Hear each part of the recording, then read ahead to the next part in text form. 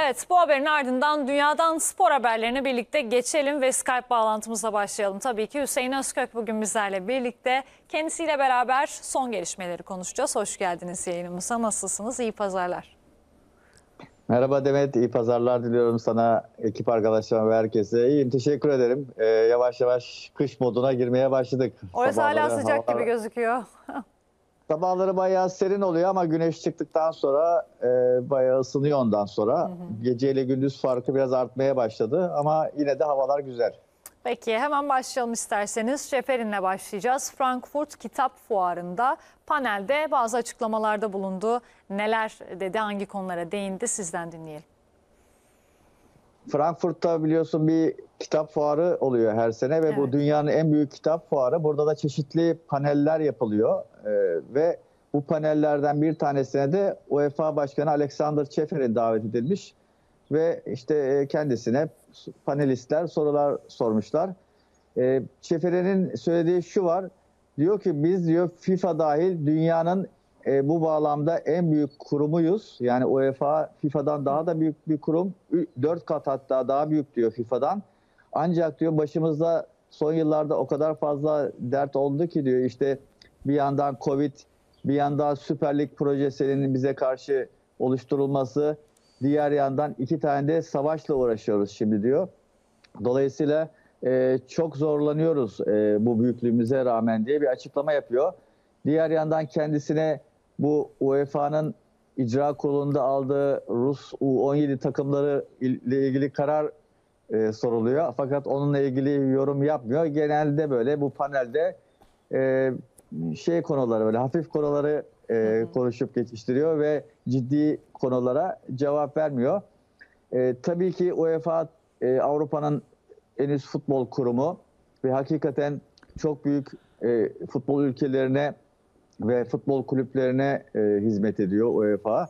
Dolayısıyla e, bu büyüklüğü çok normal tabii ki ve çok büyük e, paraları yönetiyor UEFA kurumu.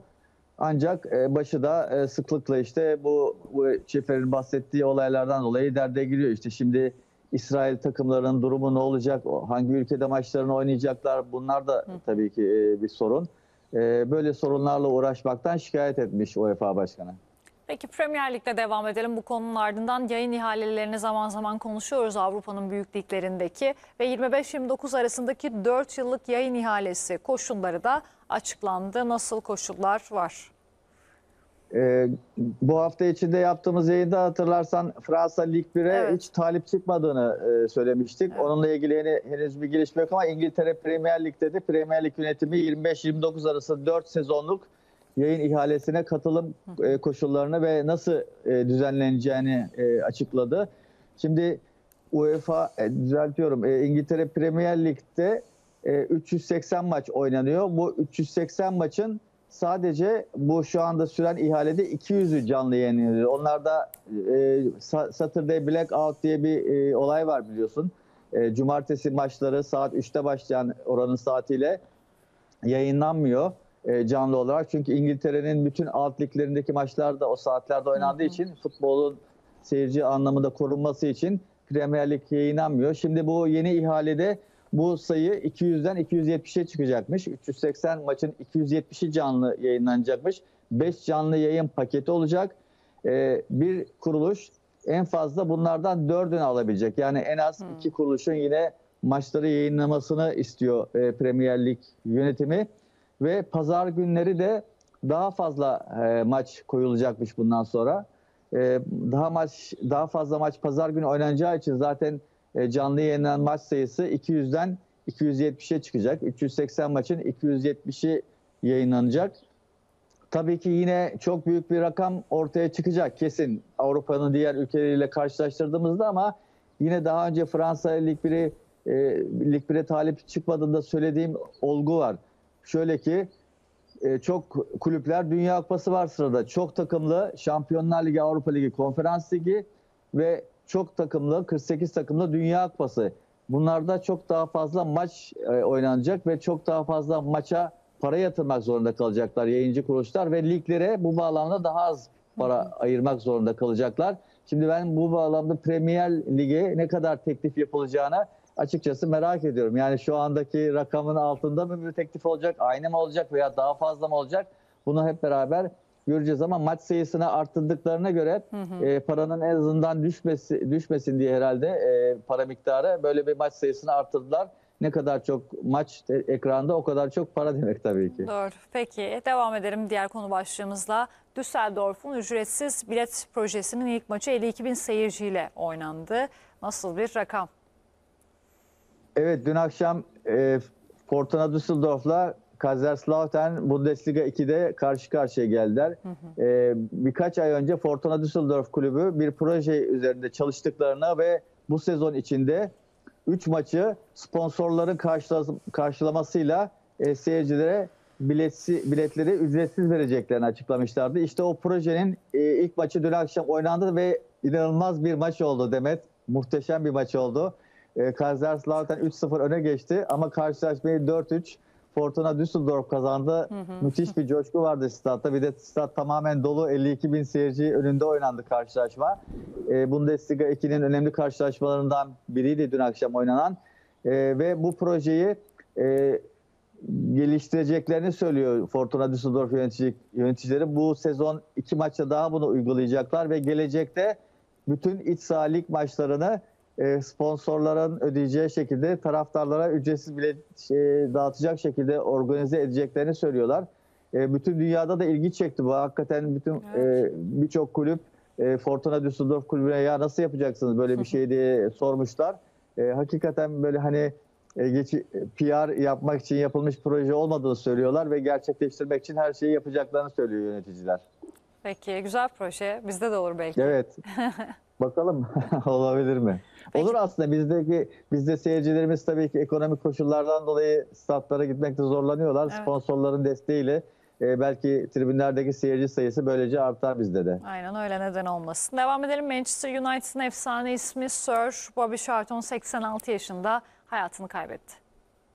Evet, futbolu bırakan e, sporculara üzülüyoruz. Bir de hayata veda eden böyle üst düzey eski e, oyunculara, efsanelere üzülüyoruz. Bobby Charlton İngiltere'nin ve Manchester United'ın efsanesiydi. Tabii ki bizim yaşımız yetmedi e, onu izlemeye ama işte bu 58 yılındaki uçak kazasında Münih'teki Manchester United'ın 8 futbolcusu ölmüştü. E, Bobby Charlton oradan e, hafif yaralarla kurtulmuştu. 1966 Dünya Kupası'nı kazanan İngiliz takımının oyuncusuydu. Hatta Franz Beckenbauer demişti ki sadece Bobby Charlton benden daha iyi olduğu için onlar kupayı kazandı diye bir e, şeyi de var. E, Franz Beckenbauer'ın Almanların efsanesinin. E, Bobby Charlton da dün 86 yaşında hayatını kaybetti. E, Manchester United stadını Nisan ayında Manchester'dayken ziyaret etmiştim. Orada bir Bobby Charlton tribünü var. Tabii kulübün efsanesi. E, diğer efsane futbolcularla birlikte heykeli var stadın önünde. E, İngiltere'de e, o dönem kendi döneminde İngil- İngiltere'nin en çok gol atan futbolcusuydu. Milli takımın en çok gol atan futbolcusuydu. Hakikaten unutulmaz e, bir futbolcu imiş. E, biz izleyemedik tabii ama e, bütün dünyanın tanıdığı ve takdir ettiği bir e, oyuncuymuş. E, diğer yandan Sir ünvanı var biliyorsun. Kendisine Sir ünvanı verildiği gibi kraliçe daha önce de şövalye ünvanı vermiş kendisine. E, böyle hakikaten bütün dünyanın tanıdığı, İngiltere İngilizlerin çok sevdiği bir futbol efsanesi maalesef aramızdan ayrıldı. Toprağı bol olsun diyelim. Peki. Almanya Federasyonu eski sportif direktörü Bierhoff'da NFL'e transfer oldu. Evet, e, Almanya Futbol Federasyonu eski sportif direktörü ve milli takımlar sorumlusu Oliver Bierhoff, e, Dünya Kupası'ndaki başarısızlığın ardından istifa etmişti ve uzun süredir boştaydı. Meğerse kendisi çok e, iyi bir Amerikan futbolu izleyicisiymiş ve bu çok yakından takip ediyormuş. İşte NFL'in son şampiyonu, e, onu da söyleyip e, New England Patriots, e, Oliver Bierhoff'u e, marka geliştirme danışmanı yaptı Demet. E, biliyorsun NFL Avrupa'ya açılmaya çalışıyor. Sadece Amerika içinde değil bütün dünyaya yayılmak istiyorlar ve Avrupa'yı da çok iyi bir pazar olarak görüyorlar. Çünkü Avrupa'da hakikaten Amerikan futboluna e, büyük ilgi var. Onun bir izleyicisi var. Son zamanlarda da e, Avrupa'da maçlar oynanmaya başladı. Almanya'da da maçlar oynanmaya başladı. Hatta yakında Münih'te bir karşılaşma olacak Allianz Arena'da.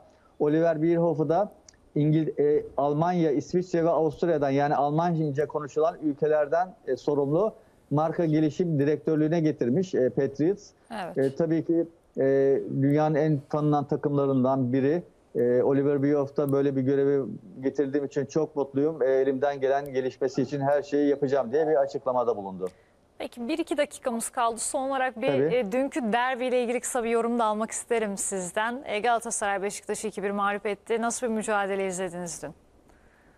Galatasaray Beşiktaş karşılaşması bence beklentilerin altında kaldı futbol kalitesi olarak. Çünkü Galatasaray e, özellikle maçın ikinci yarısında e, çok zorlandı ve beklenen futbolunu hiç oynayamadı. İlk yarı baskılı oynadı e, Galatasaray ama ikinci yarı e, hakikaten taraftarlarını hop oturtup hop kaldırdı ki bir kişi fazla oynamasına rağmen e, Galatasaray ikinci yarıda e, hiç beğenmedim ben de. E, Kötü futbol oynadı Galatasaray. Okan Buruk da zaten bunu e, açıklamasında maçtan sonra itiraf etti.